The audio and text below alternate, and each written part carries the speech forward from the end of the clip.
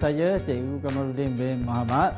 Saya mengajar bahasa Melayu tahun 6. Baik, seterusnya saya mengajarkan PowerPoint supaya aktiviti yang dijalankan pada ini untuk murid saya akan mengetahui dengan lebih jelas dan lebih faham lagi.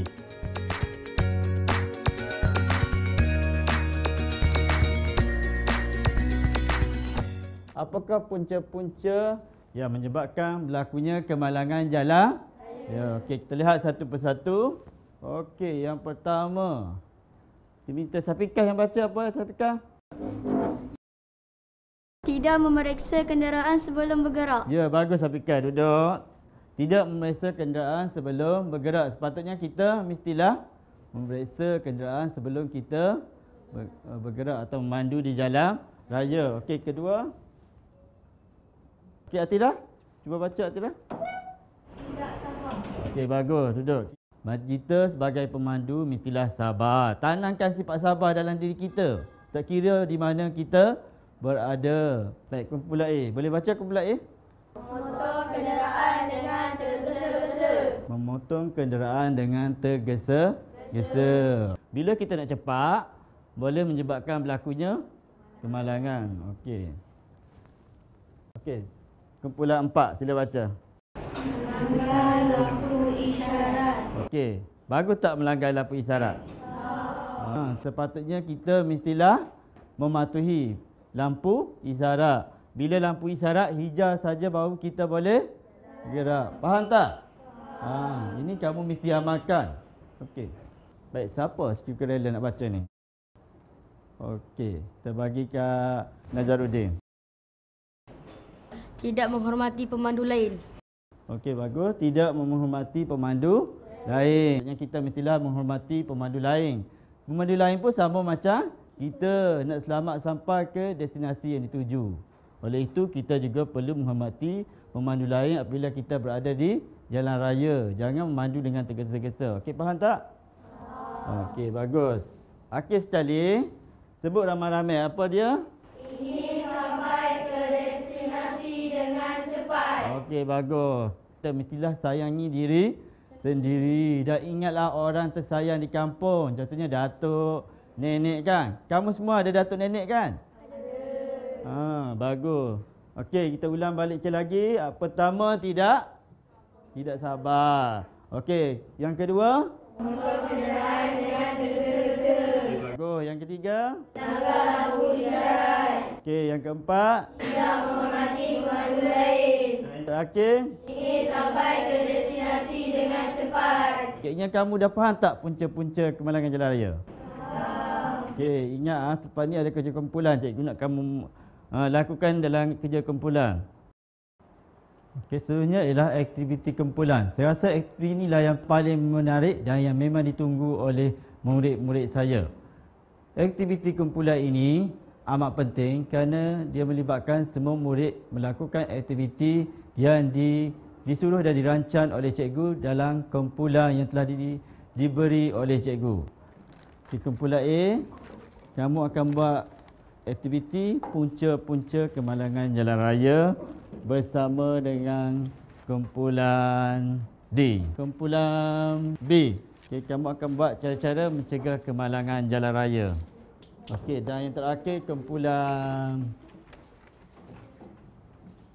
kumpulan C ambil.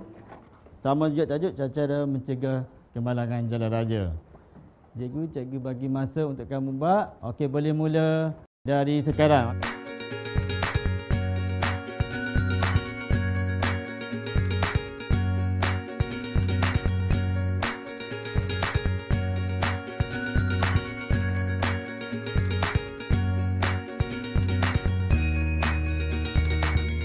Baik, ni murid masa sudah sama. Okey, tibalah masa untuk kita bentang. Untuk pembentangan yang pertama, cikgu persilakan kumpulan A.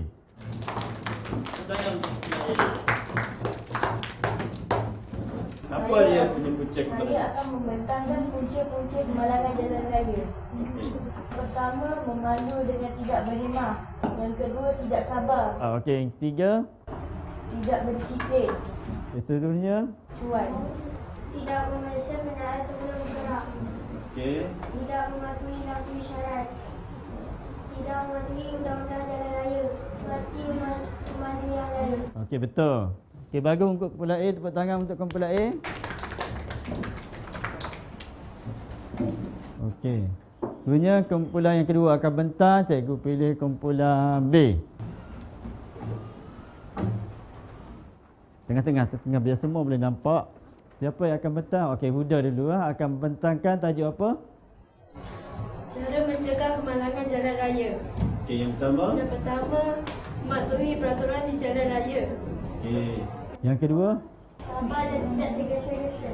Yang ketiga, menghormati pemandu lain. Yang keempat? Sayangkan nyawa sendiri. Yang kelima? Sabar dan tidak tergesa-gesa. Okey, bagus. Semuanya betul tak? Okey, sabar diucapkan untuk kumpulan B. Terima kasih. Tepuk tangan. Okey, seperti mana cikgu cakap tadi, walaupun uh, kita tak sempat untuk bentangkan semuanya kan. Cikgu, jadi cikgu minta, okey, dua orang boleh masuk, tinggal dua orang saja akan pegang. Kumpulan A dua orang tadi, mana dua? Kumpulan C.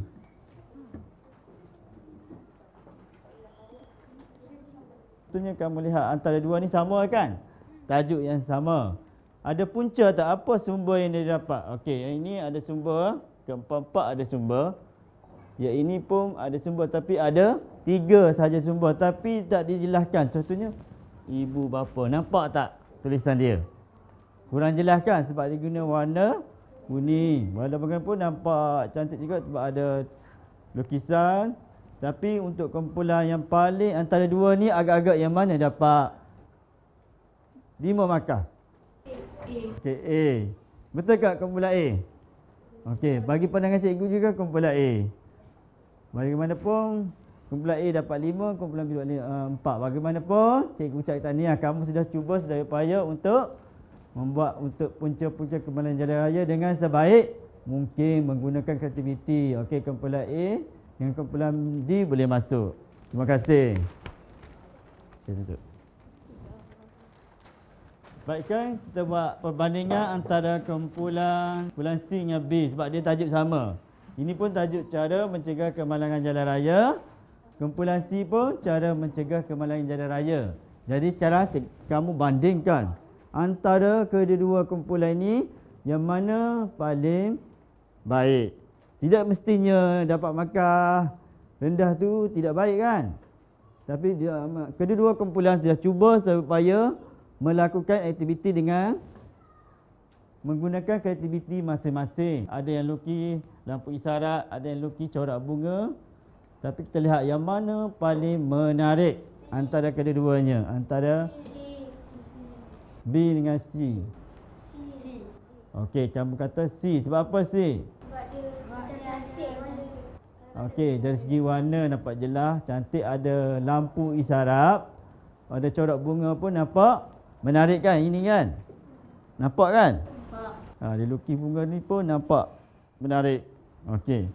Walaupun yang ni pun ada bunga tapi tidak diwarnakan. Bagaimanapun cikgu ucap tahniah untuk kumpulan apa kumpulan apa?